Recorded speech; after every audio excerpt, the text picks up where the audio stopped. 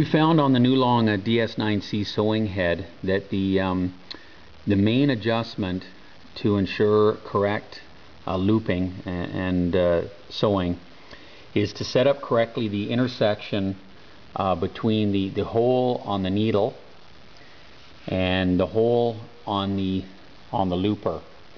Now it's shown in the book in the operating manual. Um, it is shown here. I'm not quite sure the page number.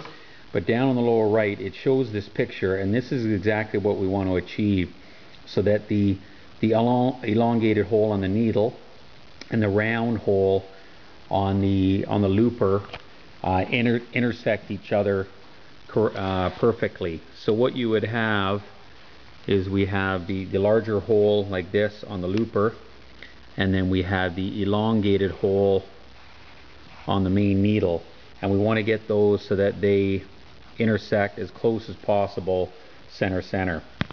Okay, so that's the main objective. Now, the book shows some other adjustments. Um, this, for example, which is, is not crucial. In fact, we found this adjustment here on this on this uh, tie rod here that go that drives the looper. It says 38.5 millimeters. Looks like usually 39 to 40 millimeters is more correct. Um, also likewise uh, this adjustment that it shows on the needle uh, this is only for reference only because again the crucial part is where that hole in the needle comes down and inter intersects the, the looper. So um, what we do here the main two adjustments are pretty straightforward. Uh, instead of adjusting this linkage here to move the looper up and down just for fine adjustment uh, it's better to loosen these two cap screws up here. Okay and so what we do so when we loosen these two cap screws it'll move this arm in and out which comes down through the linkage and effectively moves the, the looper up and down. And then for the needle uh, main thing here is make sure that um, the needle is first of all make sure the needle is pushed in all the way. Okay and the needle adjustment is not so simple. Uh, on that one we have to remove the bottom plate. Okay, so first of all we drain the oil. We have a, an oil drain hole here. Remove the bottom plate. And what you'll see is on the, um, on the needle bar shaft here, there is a clamp. And I'm not sure if we have a picture of it here. Um, but you'll see that there is a uh, you'll see that there is a clamp there on that shaft and uh, you just loosen that clamp up and then you can adjust the needle bar in and out. So what we're looking for is when the two of them come together, okay, like right there, if you look straight through the, the hole on the looper, you should be looking directly through the hole on the needle. Alright, so what we want to do, like I said, is you know you adjust the needle bar in and out, okay, to get the needle position and then you adjust. You loose just loosen this up here and you can adjust that shaft and that will bring your looper up and down. Okay so that's crucial dimension number one. Um, then once that is set up then to, then we go on with the other adjustments which are fairly straightforward. Um, we want to make sure that there is a little bit of clearance okay between the the needle and the looper itself just a, a very small amount. If we look here uh, we can see I don't know if you can see that just a little bit of deflection down there. Um, I'm not sure what we have you know it might be uh, less than half a millimeter you know ten thousandths of an inch or so. Um, and then we also set up then we just need to set up also the uh, needle guides. Okay so again we use the uh, excuse me, we use the the deflection technique.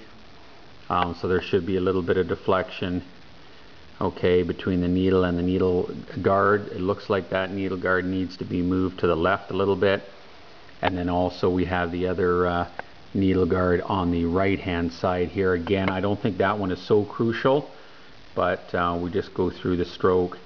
And yeah it looks like that one actually needs to come quite a bit uh, this one uh, this one needs to come in to the left a little bit because there's a lot there's a lot more clearance there than than what we actually need. So those will will have to adjust on this head.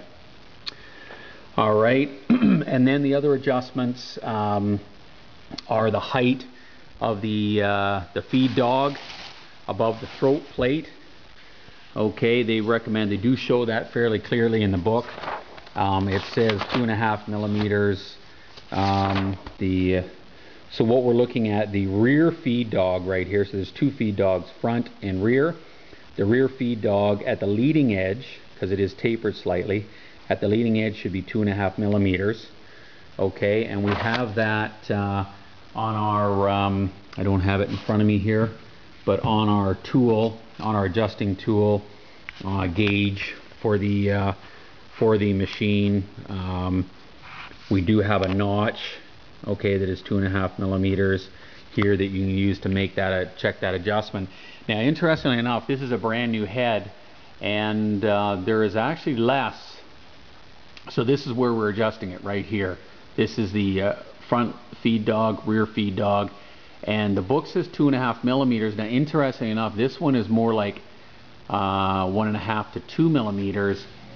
And how and what you can see here is is that the uh, basically the feed dogs uh, come up right to the bottom of the V in the feed dog is, is about parallel with the throat plate.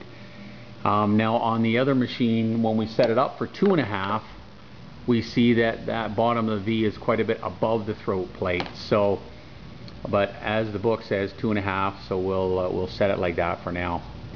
Uh, the other very important thing is is um, to make sure that the, the front and rear feed dogs are set uh, at the correct height.